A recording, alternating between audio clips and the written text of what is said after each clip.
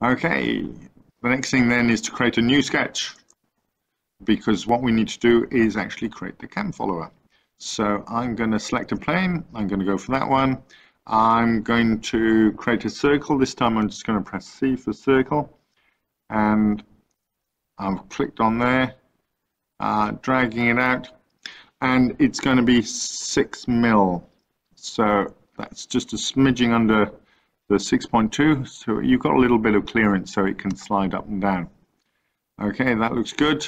Um, now if I stop the sketch, I can zoom in, he says hopefully, and I'm going to create a new extrusion and I'm looking for, ah,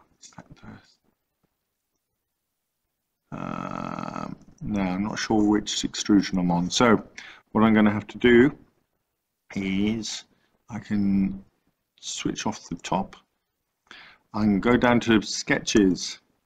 Um, there's that sketch and that sketch. So I reckon, I remember me saying we should name all our sketches. So this is um, hole through top.